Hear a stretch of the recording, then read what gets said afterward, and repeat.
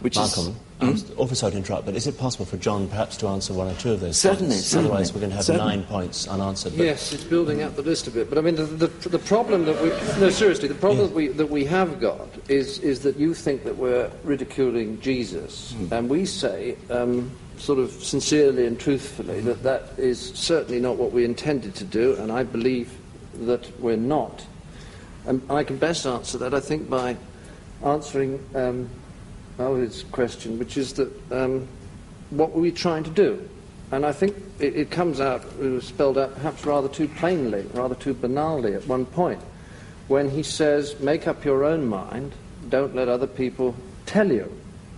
And we would absolutely deny, at least I would, that there was any attempt to say you should not believe in Christ. What we're saying is take a critical view, find out about it, don't just believe because somebody tells you to. Somebody in the pulpit says something, question it, work it out yourself. You're seriously suggesting that if someone saw that film, say a young Mm-hmm. kid who knew nothing about the Gospels or about history, Mm-hmm. that the figure of Christ that would emerge from it, this story of the incarnation, would be a noble one, um, would be. He would have to Yes. sort it out for himself. And you he, would, he would have to, for example, work out I mean, does one accept every word in the Bible? Hmm. In the Sermon on the Mount, did they get it all right when Mark wrote it down 30 years later?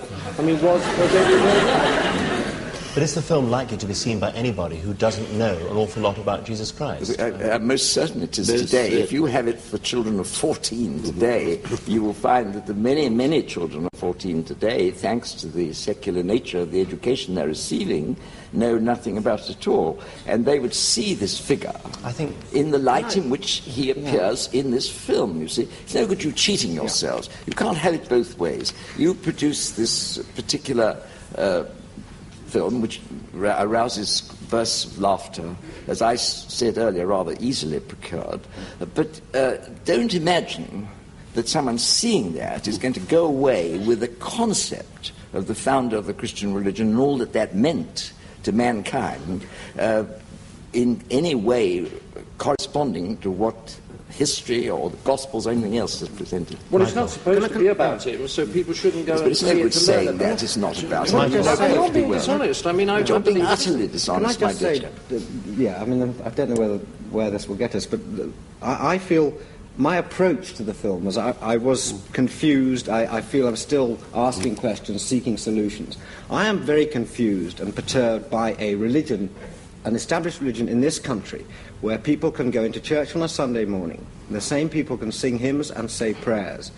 And at the same time, these people can stand by while their money is spent making bombs, making guns, building up appalling weapons of destruction, can sit by, sing hymns, say their prayers, and agree with a policy in which uh, hospitals have to go without money.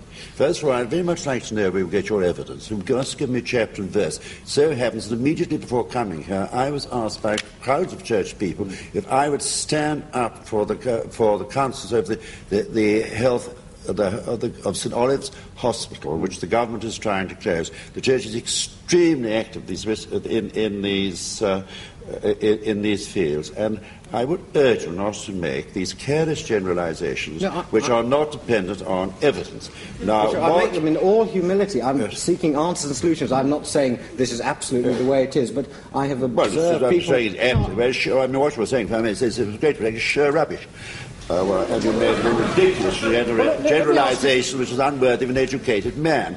Now, having said this, uh, back to what you say, somebody aged 14 coming and seeing this thing of Jesus, what you are seeing is not one of the greatest teachers in the world. I mean, granted, lots of people, majority of people wouldn't accept him as the Son of God as I do, but surely most of us would see him as one of the greatest teachers of the world.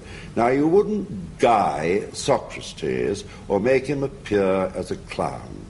And what I think Maybe there are this funny film... things about it. What? Maybe there are funny things about Socrates. Why shouldn't we make jokes about Well, Socrates? if there are certain aspects of it, you would not Socrates.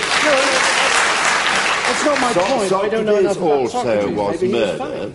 He was made to, uh, made to drink poison.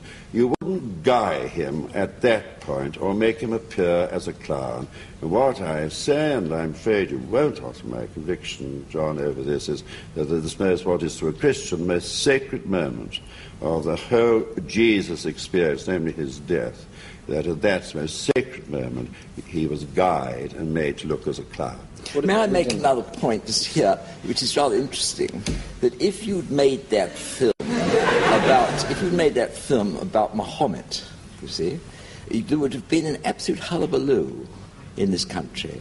Uh, uh, because the, and the all the sort of um, you know the racial anti-racialist people would have risen up in their might the same people who would approve of this and would have said this is quite disgraceful. And behind people's minds would be the thought of maybe they might lose a bit of oil, you know, by doing it. But, the, but you see the but difference. You're right, Malcolm. I mean, 400 years ago, we would have been burnt for this film. Now, I'm suggesting that we've made an advance. Mm. And I'm suggesting. I'm, I'm suggesting that compared with other presentations of this great event, the incarnation, uh, you have not made an advance, and that anybody in the future who might dredge up this miserable little film, and it's quite possible they might as a piece of social history, uh, they would certainly not uh, wish to relate it to the, the thing, say, Chartres Cathedral which is, which is built to the glory of, to the glory of Christ. Not a funny building, actually. but they might want to compare it with Fawlty Towers. Yes, they're not even intended to be a funny building. Well, it has the gargoyles on it, you know. Michael, Michael. I think that, uh, and I've seen this in the sort of reviews of the film, they concentrate always on the religious angle uh, even you know before they've seen it, they're decided this is a film about religion. I don't think it is entirely. I think that what we've chosen to do is what we've always done in Python. We've done for three series, we've done for three films. We have taken a certain group of people, which are generally sort of England in the present day, and put them into a historical context. I think that's what we've done with this film. I think it isn't entirely about religion. It's about the people who live in anyone who lives and makes up uh, our society today. It's also about closed systems of thought, whether they're political or theological or religious, whatever.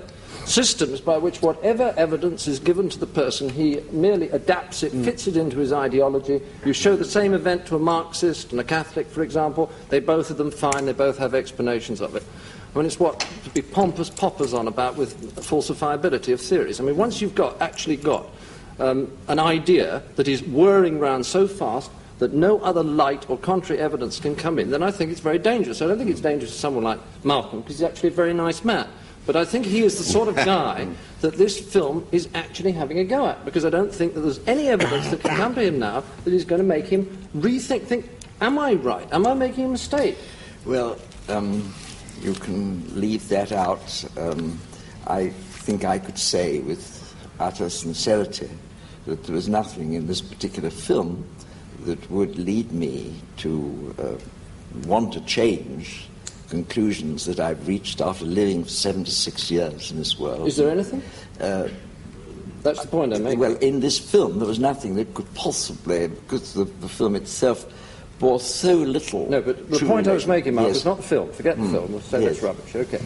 Is there anything that can happen to you now that could cause you to but change of course, every single person uh, who is alive and spiritually alive uh, is constantly reviewing his faith. I do not believe for a moment that there is a definitive faith and you say, there it is. But there's nothing in this little squalid number that could possibly uh, affect any anybody. Now, in that sense, I give you Might this point. Not, I give you this point that there's nothing in this film that could possibly destroy anybody's genuine faith. No, no, that I no, grant you absolutely, absolutely. not, uh, because it's much too tenth rate for that. But, but, um, but what I still contend is that someone who is young, 14 years old, seeing that without any particular background might really imagine that that buffoonery is an expression yes. of this great episode. Well, which... you see, I, I was also, you talked about the presentation of Christianity. I mean, I went to an English preparatory school and an English public school, Clifton College, the sports academy. I sympathise with you. I was, I was given eight or ten years, ten years of a form of Christianity which I grew to despise and mm-hmm. dislike. largely it so- insulted my intelligence. The sermons that were given at the age of 11 and 12, I felt insulted my intelligence. When I got into writing this film, and we all had exactly the same reaction, we started to discover mm. a lot of stuff about Christianity, and I started to get angry. Because I started to think, why was I given this rubbish, this tenth rate series of platitudes, when there were interesting things to have discussed? There were factual And things. you nobody ever told me. you Nobody the- ever told me that they don't know what language the hmm. Gospels were written in, hmm. that they don't even know who wrote them, hmm. and they're not even sure what cities they were Well, then you in. must have read very superficially at your school. Uh, that's look, John, it's very bad luck for you, but you see, I used to go to Clifton College to preach very often when you were there.